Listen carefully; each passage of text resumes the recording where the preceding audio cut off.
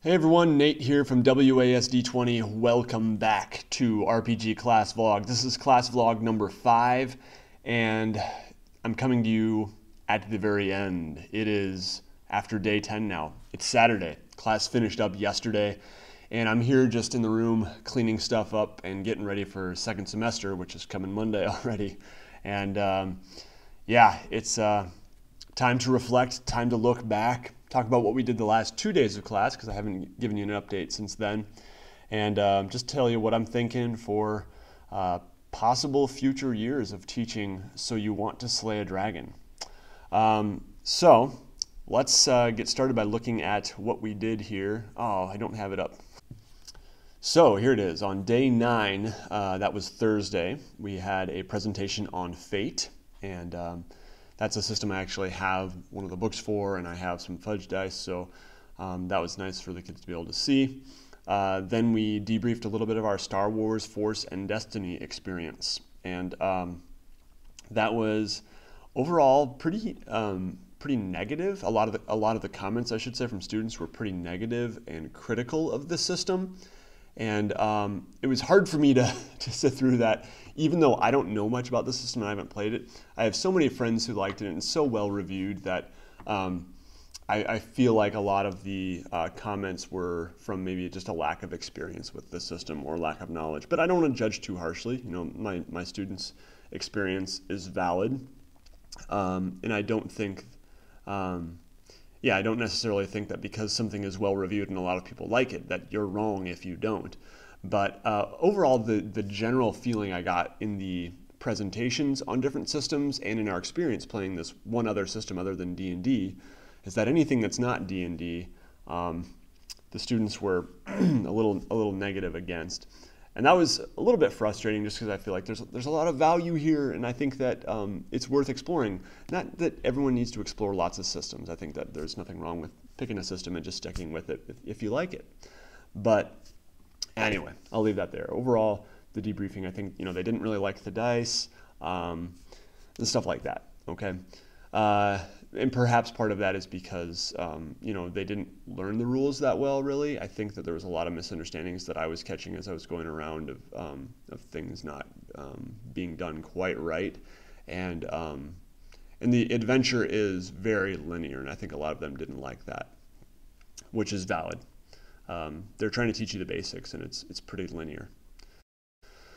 The um, history lesson for Thursday was on the um, basically 1979 and forward uh, moral panic, growth, and the fall of Gary Gygax. And uh, so we went through um, D&D becoming very popular and then becoming very criticized. Uh, and we talked about this uh, situation with the MSU student, uh, mazes and monsters, and um, but also how and, and lots of other controversy, but also how uh, that made D&D maybe more mainstream in a way, um, or at least more popular, uh, and kind of forced it into the limelight for a while. But then also is perhaps one of the reasons that it still is a little bit on the fringe because people still hold on to a lot of these misconceptions from the past about D&D. And when you say I play Dungeons and Dragons, they might give you a funny look. Um, anyway, uh, but positive press too. We watched a little clip from ET where they're playing a very D and D like game. Um, growth and waste, um, just yeah, a lot of waste and, and poor business deci- decisions. Uh, a, a, cartoon, um, and then management turmoil with the Blumes being forced out and Gygax himself being forced out as well.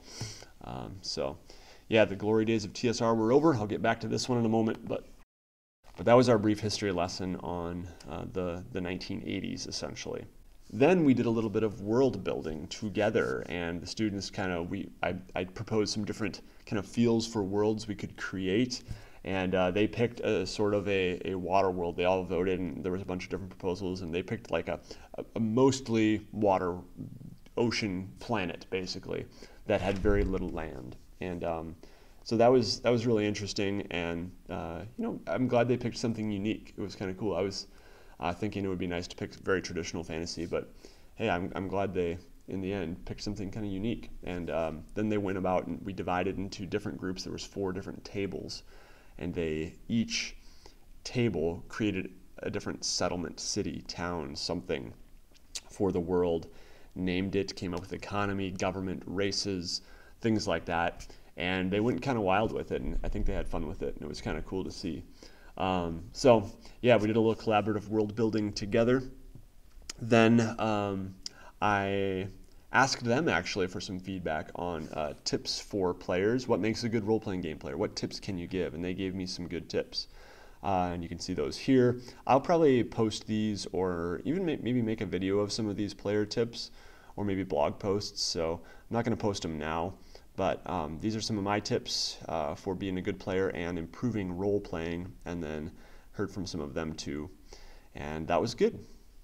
Uh, then uh, we talked about uh, the rest of history, which I had hoped to have a whole separate day for, but because of the snow day, it just didn't work out. And this was basically 1989 to present with the release of Advanced Dungeons and Dragons Second Edition, and then um, TSR being sold to Wizards of the Coast, and kind of the business trouble for Wizards of the Coast at the time, with you know the increasing popularity of Magic: The Gathering and Warhammer and other games. Um, D&D not doing nearly as well, and um, then um, yeah, eventually running out of money, needing to be sold.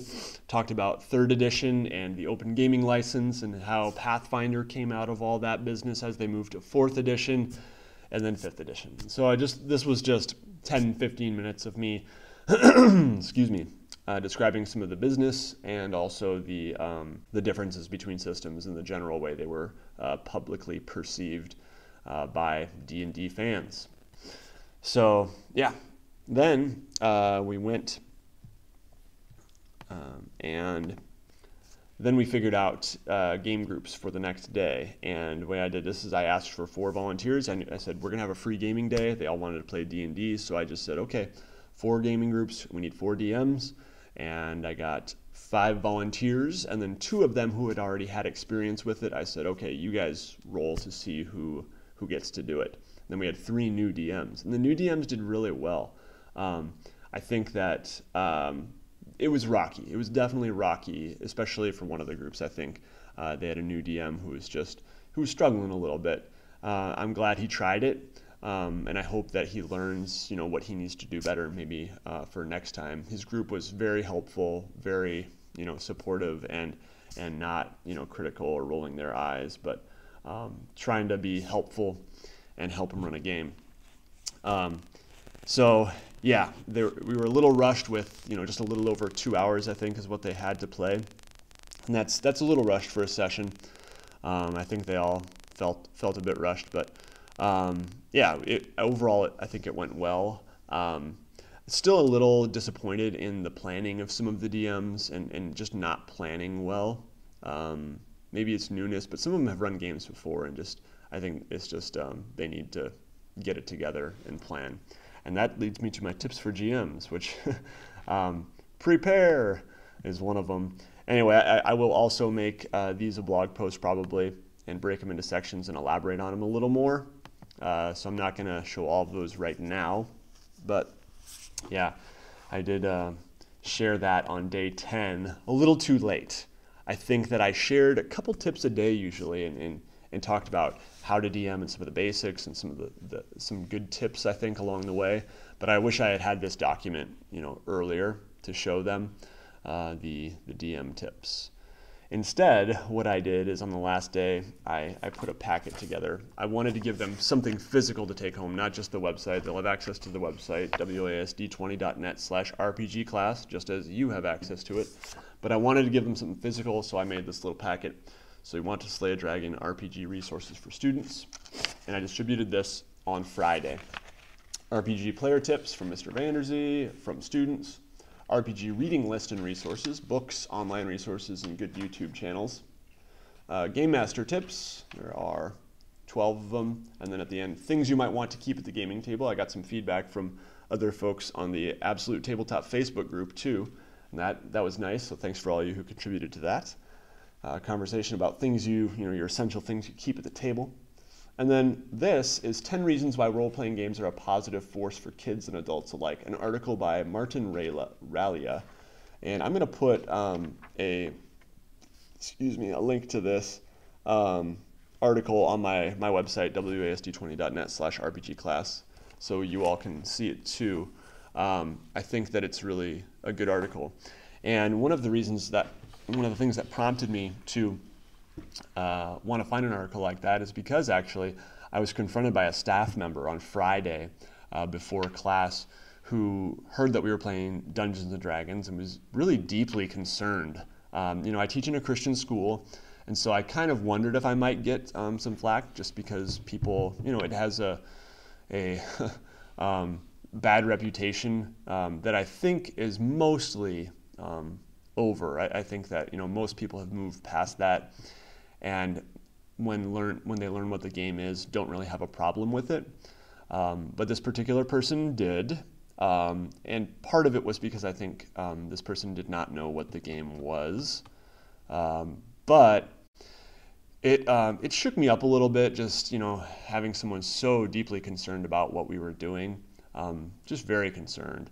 And again, partially from misinformation, and partially just because there's a difference of, of beliefs, I think, between this person and myself about um, fantasy and magic and things like that. And um, some of the same things that maybe a person might have problem with Harry Potter over, which, you know, it's hard for me to understand, but um, it was a friendly conversation. Um, we both expressed ourselves, and I think that it wasn't really much of a debate. I think it was honestly this person wanting more information. And so I, I emailed this person some resources, and, and um, yeah, it, it, was, it was okay. It was okay. Um, but it had an effect on me just because it does, even though I am not shaken in my beliefs in the value of this hobby and uh, how it can be really such a positive force, I think that, um, and how it is definitely not a gateway to the occult. Um, I, I, just can't see that. Um, still, it, it shook me up a bit because it doesn't feel good to have someone down the hall or whatever um, who disapproves so strongly of what we're doing, what I'm doing with students, right? Just a, it's not a good feeling. So anyway, I don't want to ramble too much about that. Perhaps I'll comment more in a future video on that and um, and talk more about faith and, D&D or whatever. But that uh, played in a little bit. I mentioned it to my students that conversation. Didn't tell them who or anything, but uh, on on the value of the hobby in, in terms of creativity and, and encouraging them to use it as a positive thing uh, to build community and to be something that's inclusive and um, something that, that exercises our God given creativity. So I think that was a good conversation. That was pretty brief faith reflection. Then we had a presentation on Vampire, uh, World of Darkness game. And then uh, we, and, and, by the way, that's a game where I, I, I do have a little more concerns maybe but anyway i won't get into that where it's you know it is dark you are playing mainly evil characters and that's just for me not a place I like to go, but anyway. Um, then we had some playtime with uh, D&D 5th edition, and as I said, I kind of already commented on how the DMs did with that. And overall, I'm really proud of everyone for contributing and being positive, and uh, for new DMs having the bravery to try it out. We had 12 total students try to DM, and I think as we started the class, maybe three of them had ever done it before.